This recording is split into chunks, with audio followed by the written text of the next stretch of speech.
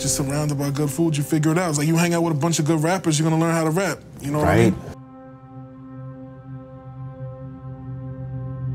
You hang out at the gym, you're gonna leave with some muscles. That's right. I hung out in the kitchen, now my stomach's big. Who's the champion? We, the champion. I the champion. With the champion sound.